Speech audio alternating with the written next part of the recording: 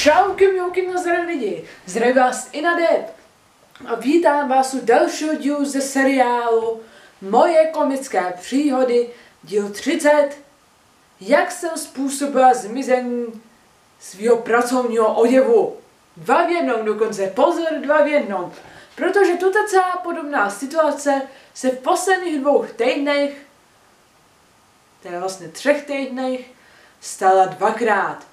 Nejdřív začnu s tou první situací, která se stala před minulý pátek. Neměla jsem zkrátka radost, že už je padla, že už je ten víkend, konec práce, že si prostě odpočinu pěkně. Teďko už ten pátek fakticky umím pořádně ocenit. A tak jsem prostě šla na autobus, na opavsu jsem dojela a ani jsem se nějak neuvědomila, že mi něco chybí. Mě to totiž v tu chvíli nějak vůbec nepřišlo. Říkám si krásný, za 16 minut mi to jede, jsem doma brzo, dneska to bylo rychlý, jenomže pak mi kamarádka Hanka zazvonila, teda zavolala a prej, že jsem zapomněla ve škole celou tu tašku, tak já nejdřív našvená nejspíš na sebe, že jako, že se mi tam prostě vůbec nechtělo jít zpátky. Ale zase, jasně se říkalo ve škole, že to prostě budou vyhazovat, jestli tam něco najdou, že si to máme prostě že nevolní. Tak jsem tam teda jakože hnala zpátky. Říkala jsem si, sakra fix, kdybych si na to všimla hned. A říkám, proč mi to taky neřekneš hned? No, jasně.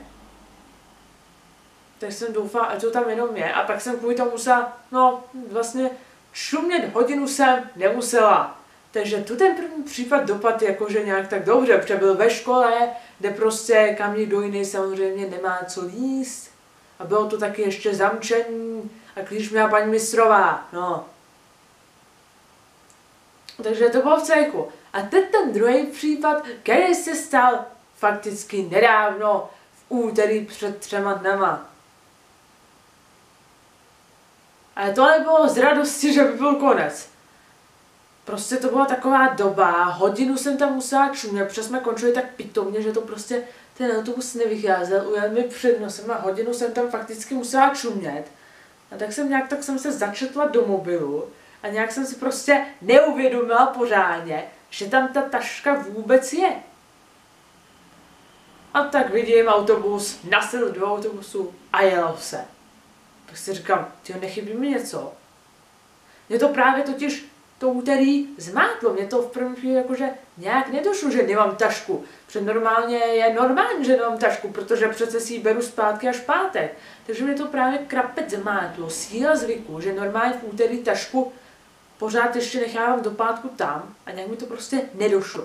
A když jsme to teda takhle na té Doubravce, tak už jsem jako v první chvíli jsem se chtěla hnát ke dveřím a vysoupit. A pak jsem si říkala, a mě se ale nechce čekat.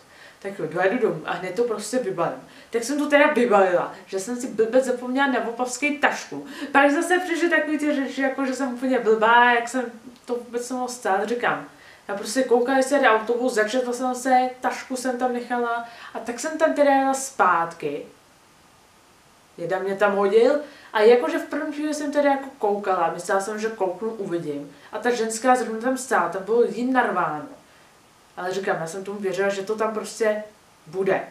A už jsem jako chtěla jít, tak ještě, že jsem se tam nakonec radši podívala. A pak úplně sláva, je to tam. A víte, co bylo ještě divnější? Ta taška ne, že ji nikdo nevzal, ale ona ležela úplně ve stejné pozici jako předtím, když jsem odcházela. To je zajímavý. Jednou jsem chrástu nechala na na zastávce tašku s plavkama, tohle bylo po chvíli pryč a tam to stálo pomalu takový dvě hodiny, nebo je, nevím jak dlouho a nikdo na to ani nešmák. To je zajímavý, to by člověk čekal v práci, že to spíš v Plzně vezlo než v chrástu. To bylo něčem svědčí.